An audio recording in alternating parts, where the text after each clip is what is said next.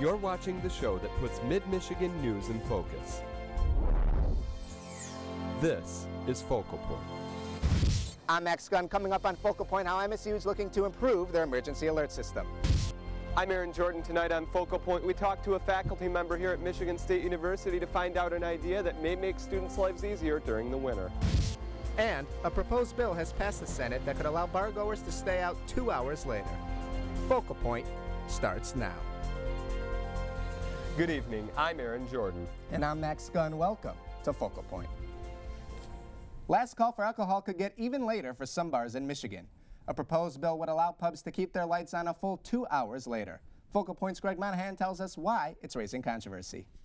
Such a bad idea from a health and safety perspective. Marie Hansen of the Michigan Alcohol Policy is talking about a Senate bill to keep bars open in Michigan until 4 a.m. each weekend. It's a lot of research that says um, when you extend hours of service two hours or more, you increase harm. And that's what Michigan would be doing. Some lawmakers want to compete with other cities who have later closing times. You know, I think the intention of the bill is for larger cities to have a more, you know, uh, a nightlife similar to, you know, Chicago and, uh, you know, other big cities and that sort of thing. The bill wouldn't allow any establishment to stay open even later, because they'd have to buy a license to do so for a year, and that license would cost $10,000. Whether uh, bars around here can justify paying that extra money or not, you know, I, I, don't know. I, I, I kind of doubt it, but I mean, I guess it's nice to have the option. While staying open till 4 a.m. for bars like this one in East Lansing might mean extra profits, it would also mean that there's going to be a lot more risk on the roads late at night. I can't say that we, we wouldn't do it. Um, it's my personal opinion, though, that nothing good happens after 2 a.m. anyway. The heaviest drinkers are going to continue to drink until 4 a.m. Mike Tobias is the executive director of the Michigan Alcohol Policy, and he shares similar concerns. So then they're going to have people leaving the bars, um, you know, 5 o'clock in the morning driving um, and putting people that are working early in the morning at risk for being hit by a drunk driver. Tobias says that the bill it isn't even popular with Michigan residents. We believe that the people do not want to see this extension to 4 a.m. sales. Alcohol is very available in Michigan, um, and so we think there's it's enough it's, it's, available enough in Michigan. Next up for the bill, it's a vote in the State House. And if that passes, it'll head to Governor Snyder's desk where it could be signed into law. For Focal Point, I'm Greg Monahan. Even if the bill is signed into law, the East Lansing government would have to vote to approve the 4 a.m. closing time. A proposed religious freedom bill has passed in the State House. The proposed bill protects people and their religious beliefs and practices. Opponents say it will provide a license to discriminate and puts the government in position of deciding which beliefs are valid and which are not. MSU students and faculty no doubt remember just how brutal last winter was, whether they commuted in from other cities or were forced to walk across campus in sub-zero temperatures, the conditions could be dangerous. But a new idea by faculty members that is in the works could make things easier and safer for everyone. MSU journalism instructor Bonnie Bucqueroux understands just how difficult it can be to get to campus when conditions are poor. I have a dirt driveway a half mile uphill, and in the ice storms, it's absolutely impassable. And with last year's harsh winter, she took advantage of technology out of concern for her students. I could get out, but I worried about my students coming across campus. I said, today we're going to hold the class virtually. Students attended through the video streaming site Ustream. Ustream has a special social stream at the side where students can ask questions right in real time. One MSU student wants to see more hybrid classes. Definitely second semester because most of the first semester is kind of warm, but once you get to like this, kind of stinks coming to class. When it makes sense to bring people together, we bring them together, and we need the brick and mortar to do that. That's part of a university experience, having face-to-face interactions with your professor. But it doesn't have to be every time, and it certainly doesn't have to be time when it threatens the health and safety of everybody. And Bucqueroux says it's a matter of safety. I have, you know, asthma, cold air induced asthma. And I worry about some kids with various physical disabilities trying to get to class. Bucqueroux said she fears for the safety of students and faculty members who have to commute from other places just to get to their classes. She said she wants to see virtual classes in place before something tragic happens. And it really puts their lives at risk to go out on these highways to try to get here for an 8 o'clock class when the roads haven't been salted. And she doesn't want the worst to happen before something is done. And I'm afraid it will. Uh, we're going to lose somebody. I had one student in my uh, innovations class who had shattered her knee so badly that she had her leg on a scooter for the rest of the semester, and that was as a result of falling during that ice. Bucqueroux said something she did not understand was what goes into the decision-making process when it comes to canceling classes. She said she hopes to see MSU move toward more hybrid classes in the future. This winter break, Spartan students and faculty will enjoy an extra week of, a, of vacation. I'm looking forward to that. Focal Point Santiago Montiel shows us why this holiday season the best present comes from the school itself. While the time left in the semester is running out, the time MSU students will be on winter break is longer this year. It's still nice to have the time off, though. A normal MSU winter break lasts for 23 days. This year, it will be 30 days. Why the longer break? Associate MSU Provost John Gavery says the school calendar for this year is an anomaly, and it all depends on when classes start. MSU always starts classes the Wednesday before Labor Day weekend, causing a yearly shift in the calendar. For students and teachers, this is not a problem.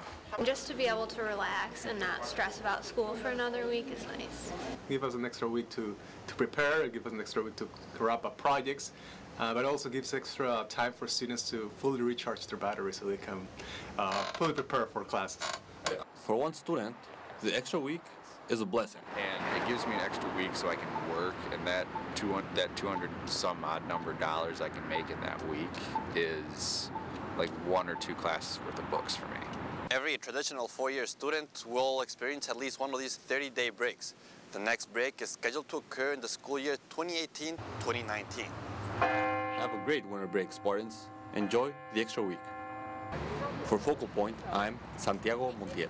It's going to be a well-deserved break for everyone. Because of this week, summer break will start May 3rd, a week later than usual. The East Lansing redevelopment plan on last month's ballot did not pass, leaving the eyesore buildings on Grand River intact. 57% of people voted yes, but the proposal needed 60% for it to pass.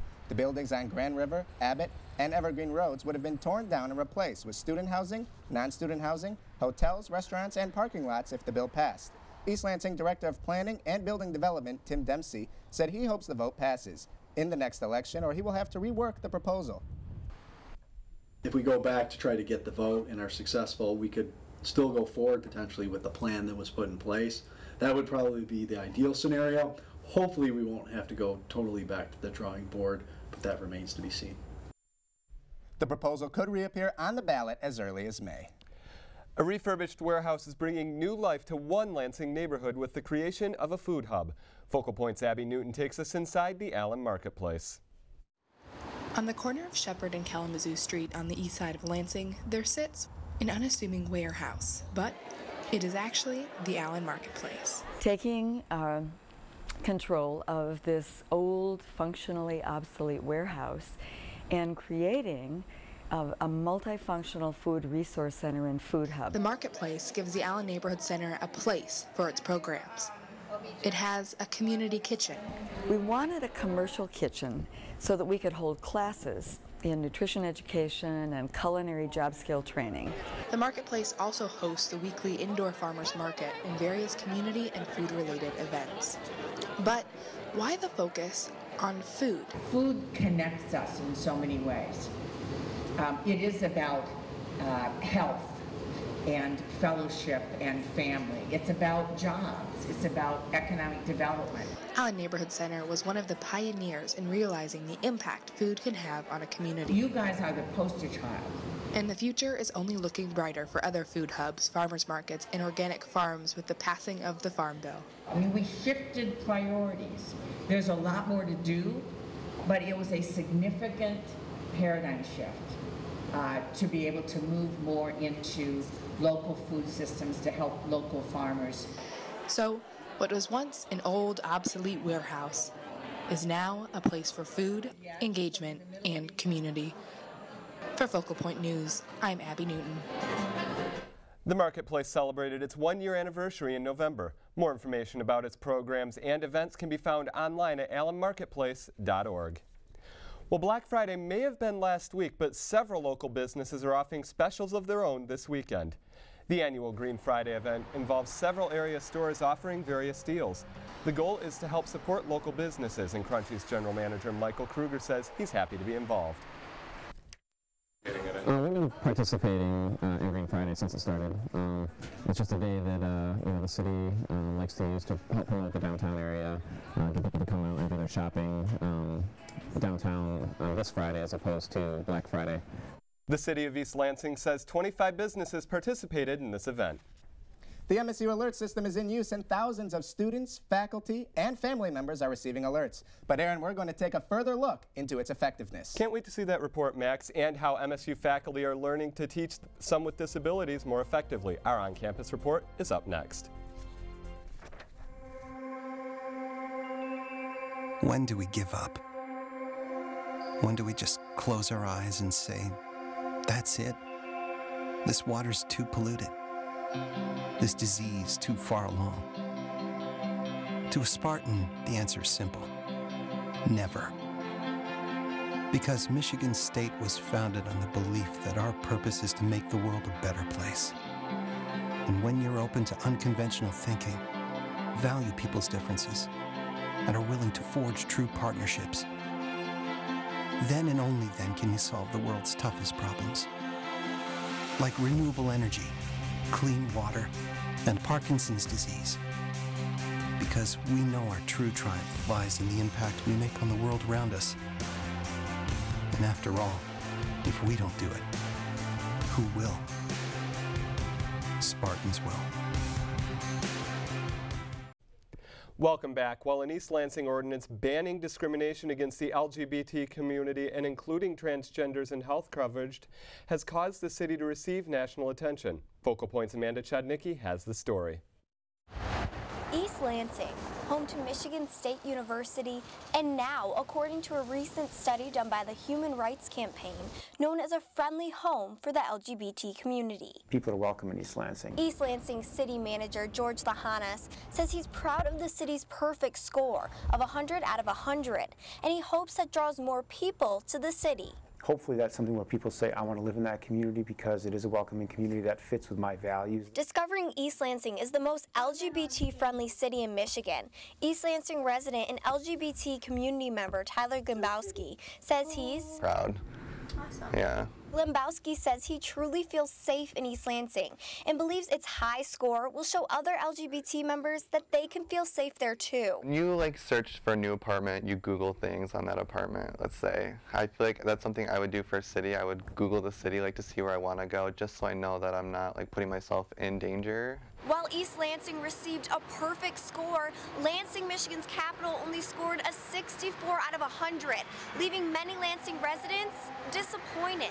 I think it's unacceptable that, you know, we have a score like that. Like the capital city should be what Michigan is made out of, really. Both a Lansing resident and ally for the LGBT community, Kristen Harris, says she hopes Lansing residents will work together to make the capital more welcoming. Just show support you know, just show it. Like if you're able to get one of those free equal sign bumper stickers that everybody has, you know, put it on your car or put it on your laptop, whatever, just show it because that shows you're a safe place and you're a safe person. If you don't want to support it, you don't have to, but like you should put the respect out there for other people.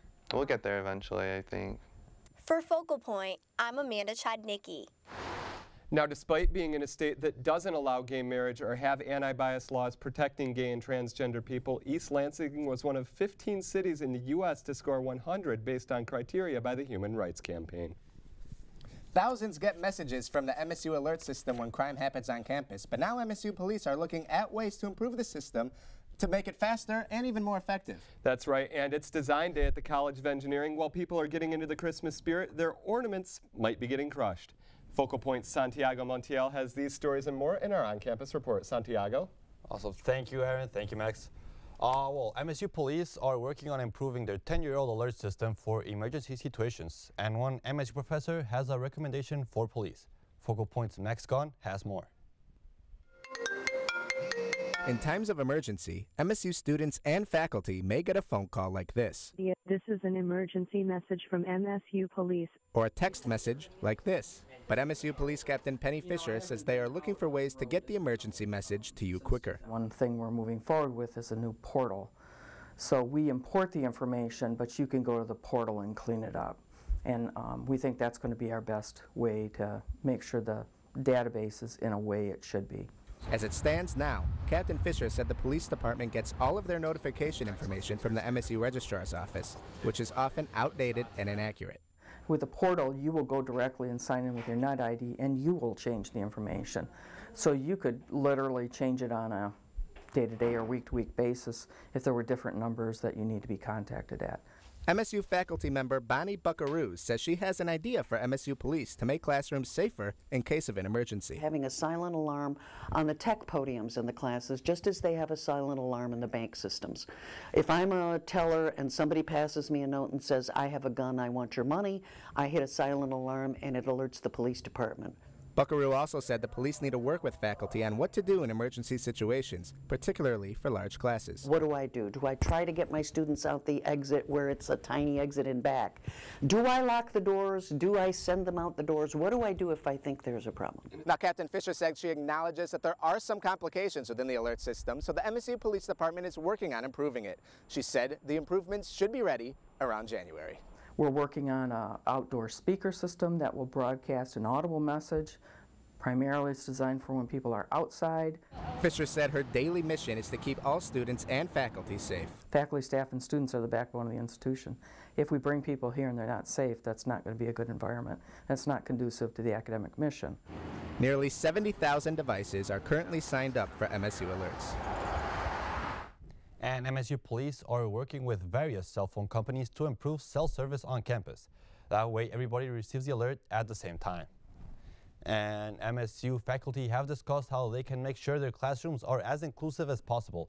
And the Resource Center for Persons with Disabilities is helping them achieve that goal. Focal Point's Tyler Clifford brings us that story. Meet Katie. My major is advertising. She's diagnosed with cerebral palsy. I was born 13 weeks early. I was two pounds. She came to MSU because of the accessibility of campus for students with disabilities. The last college I went to, there was only one accessible restroom on campus. Michael Hudson is director of the Resource Center for Persons with Disabilities, which serves a small population on campus. Since we've registered about 3% of the students, slightly over 3, 3.1%.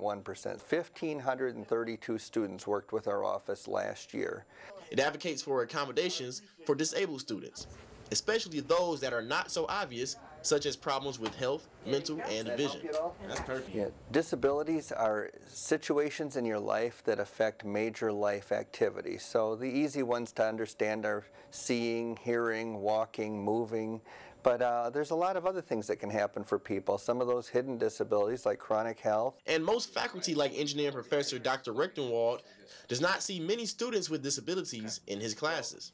As a general whole, most of the time I deal with a disability, I'm getting a note from the, the Center for Disabilities. And so it's something usually related to test anxiety or perhaps font size, things like that, that are easy to accommodate. But he has learned to address issues with students that are colorblind, learning not to use red font on important text. And I was very glad for that because it was clear that I had a red font in a very important place, and it had just never occurred to me that a student could be colorblind and not notice a red font. So did a little research on my own to figure out what colors I could use and couldn't use.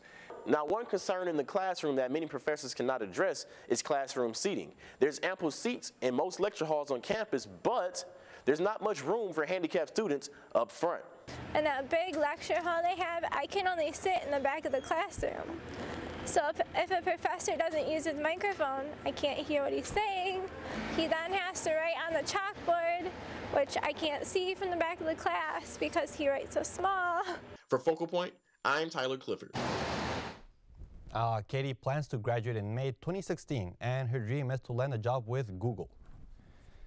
And today, high school students across the state visited the MSU School of Journalism for the fourth annual Big Ten Journalism Day. Prospective journalism students and their families visited the Communication, Arts, and Sciences building to learn what makes the School of Journalism at Michigan State different than other programs across the U.S. Current MSU journalism students led scavenger hunts around the building to help showcase the opportunities available for students. Jeremy Steele, MSU's journalism specialist, says it's exciting to see so many students so enthusiastic about journalism. Our goal is to try to give them all the information that they need so that they can make an informed decision and see how they would fit into our program here. Of the 30 students who attended the event, 14 have already applied to the School of Journalism at MSU. And a college president, a prize winning columnist, and a controversial filmmaker will be the speakers for next week's graduation ceremonies. The university announced on Tuesday that Washington Post columnist George Will and filmmaker Michael Moore will take the stage at the Breslin Center next week. Also joining them will be President of the University of Virginia, Teresa Sullivan. Will and Sullivan will also be receiving honorary degrees. And it's a time of the year where engineering students are showcasing their final projects. Focal Point's Michaela Robertson takes us behind the scenes for Design Day. These are the sounds of students preparing for Design Day. Design Day is an exciting day for the whole College of Engineering. For upperclassmen Design 2 students, it's a chance to take what they learn in the classroom You get to design, then see things come to life. and present it to professionals. Design Day is something like uh, a huge celebration of your accomplishments. 101 teams and 470 students have gathered in the College of Engineering to showcase their designs. Underclassmen Design 1 students found a way to give Christmas gifts. This is our Santa fortune teller. Um, the Santa gives you your gift, so you use the crank on the right. You slide it out. And then Santa gives you your gift for the year. While others crushed holiday spirits. Our project is called Merry Crushmas. It's basically an ornament smasher. It rolls down the tracks into its final stop position and crushes the ornament, and the sweeper sweeps up the remaining shards. There was a handmade fruit ninja This is a slicing mechanism that we've developed. And an interactive pinball machine. We started with the idea of a pinball machine. We wanted to kind of move on and see how we could change it and be creative with it. There we go, two points. That's two points for Design Day and a victory for MSU. So it's a win-win. For the company, they get access to students. Should we hire this student on that student? So it's a two-way street. Uh, but the great thing for the students, is they get real-world experience. For Focal Point, I'm Michaela Robertson. Design Day sponsors this year included Bosch, Whirlpool, GM, and others. That's what's happening on campus. Guys, back to you. All right, Santiago, thank you so much. Well, Max, there was a nail biter at the Breslin Center yesterday. It sure was, Aaron. The MSU women's basketball team took the Yellow Jackets into overtime. Plus, the men's soccer team is in the Elite Eight right here in East Lansing, and they have the chance to advance to the Final Four tomorrow afternoon. Greg Monahan is next with sports. Ever wonder where courage comes from? Where one finds the strength to believe in solutions that seem impossible? It takes a Spartan's will to understand that by working together we can solve the world's biggest problems, from renewable energy to fighting malaria. After all, if we don't do it, who will? Spartans will. The MSU women's basketball team improved its record to 5 and 1 after defeating Georgia Tech in overtime yesterday at the Breslin Center. The Spartans were pushed around in the first half, but they ended up overcoming a 16 point deficit to send the game into OT. MSU saw themselves down by 5 points in that period, but ended the game with a 11 point run to win it 79 to 73. Tori Jankoska led the team with 21 points and 10 rebounds. Aerial Powers also recorded a double-double. And Suzy Merchant had a lot of praise for the reaction her team had after being bullied around in the first half. and it felt like they put boxing gloves on and just pummeled us to be honest with you for 20 straight minutes and we just stood there and took it and then you know we obviously decided to put some on ourselves Merchant's team is now 5 and 1 on the season and they'll be heading to Athens, Georgia this week to take on the Georgia Bulldogs. And the day before the women's basketball team won in overtime, that men's basketball team also find them also found themselves in, in OT. However, things did not go as well in the overtime session for Tom Izzo's squad as they dropped a nail biter against the Irish 79 to 78. Pacing the Spartans was junior guard Denzel Valentine. He had 22 points. Branden Dawson was a monster on the boards, pulling down 18 rebounds to go with his 16 points. The Spartans fell behind early in overtime and could not recover, losing by a single point. And MSU falls now to 5 and 3 on the season. Next up for the Spartans, it's a home game tomorrow at 2:15 against Arkansas Pine Bluff. And after the making the Elite 8 last year, the MSU men's soccer team looked to do it again on Sunday against the Washington Huskies. However, things, out, things started out disastrously for the Spartans. Washington grabbed a 2 0 lead with just 15 minutes to play, and Michigan State's tournament run looked to be over. But after an own goal from the Huskies made it 2 to 1, a beautiful setup from a pair of Spartan forwards le le led to Tim Kreis's fifth goal of the season, and the Spartans tied it up in the 88th minute. It ended up going to penalty kicks, and a shot from Washington's Darwin Jones hit the crossbar, stayed out, and that gave the MSU men's team a thrilling victory. What I told the guys in the tent afterwards was it was all about their character today. When you're down 2-0, there's a lot of ways you can go. And uh, it was about the character of these 28 guys. It wasn't about the coaching staff, my assistants, myself. It was about the character of the players on the field, and they never gave up. MSU now has a chance to make its first ever Final Four tomorrow. They're going to kick off at home against the Providence, Fire, the Providence Friars at high noon. And the football team closed out its regular season last weekend with a convincing win in Happy Valley over the Penn State Nittany Lions. And it started out with a bang. R.J. Shelton took the opening kickoff 90 yards for a touchdown, the first kick return for a TD for MSU since 2009. And Jeremy Langford continued his dominant season, running for 118 yards and tacking on two touchdowns. The Spartans put up 21 points in the second half and improved their record to 10 and 2. That's going to be their fourth 10 win season in just the last five years. And all that Spartan success came with its share of accolades. This week, as five members of the football team earned first team All Big Ten honors. Receiver Tony Lippett and center Jack Allen were named to the offensive first team, while defensive end Shilique Calhoun and DBs Trae Waynes and Curtis Drummond represented the Spartan defense. And the University of Michigan is now looking for a new head football coach. After going 5 and 7 this year, and with increased scrutiny from alumni, fans, and, and fans, Michigan inter, interim athletic director Jim Hackett fired head football coach Brady Hoke earlier this week. Hackett said that it was a struggle because while Hoke instilled excellent values for his team, it ultimately just came down to wins and losses.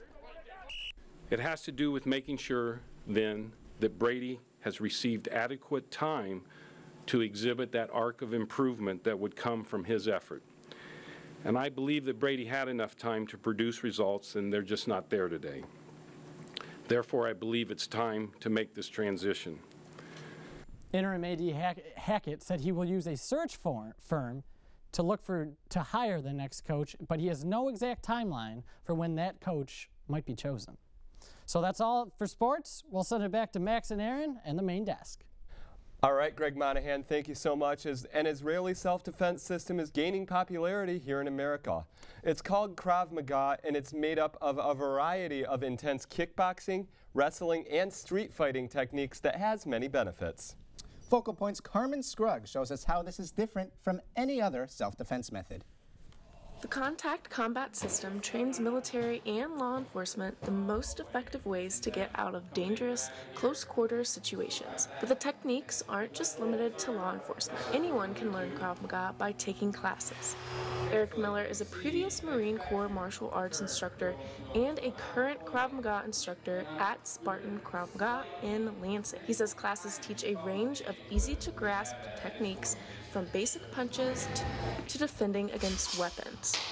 They're learning techniques for different scenarios. There's a million different potential scenarios out there. Obviously, we can't cover them all, but you're getting those basics down. And while it's important to defend yourself against attacks like these, there are other benefits as well. I think the biggest thing was the general fitness portion. Lost almost 50 pounds. Um, I've gained a lot of knowledge in uh, street fighting, um, a lot of uh, confidence in my abilities to defend myself. And it's not just confidence that instructors want students to gain. Miller says a realistic mindset is critical for successful self-defense. And I, I think the biggest um, thing that they're learning in here and that we're trying to reinforce in here is the mindset. Um, that if something happens, um, when something happens, they're going to react and they're going to react appropriately. And that learned reaction from Krav Maga could make all the difference in saving lives. For Focal Point, I'm Carmen Scruggs. Krav Maga is taught to local law enforcement here in Lansing as well. But any beginner level class is open to anyone, even with absolutely no experience. Max, I don't know about you, but I'm exhausted after just watching that. Not for me, Aaron. All right, and that's our show for tonight. We leave you now with season's greetings from Focal Point reporters and producers. On behalf of our entire crew, thanks for tuning in tonight and throughout this whole semester. I'm Aaron Jordan. And I'm Max Gunn. Thank you so much for tuning in. Have a great holiday season and a wonderful night. Good night, everyone. Hi, my name is Greg Monahan. I am a reporter at Focal Point. Just wanted to say happy holidays to everybody out there watching our show. We love you guys. Thanks so much. Hey everyone, it's Jennifer Swancher and want to make sure that all of our Focal Point viewers have a great, happy, and safe holiday season. Thanks so much for tuning in. I'm Nick Blaskowski and I'm helping out with Focal Point today. I want to wish you viewers a Merry Christmas. Uh, hello there, uh, my name is Santiago Montiel. I'm a reporter for Focal Point and I just want to wish you happy holidays, Feliz Navidad. Uh, thanks for tuning in. Hello, I'm Michaela Robertson from Focal Point, wishing you all a happy holidays. Hi, I'm Aaron Jordan. Happy holidays, and thanks for making us your campus connection to news. I'm Daniel Hamburg, and I'm the producer for Focal Point, wishing everyone a happy Christmas Kwanzaa. I am Tyler Clifford, and I want to wish you all a very happy holidays, a very happy new year, and I will see you all in 2015. I'm Max Gunn. Just want to say thank you all for tuning into Focal Point this semester. We really appreciate your support. It means a lot to us. I want to wish you all a Merry Christmas and Happy Hanukkah.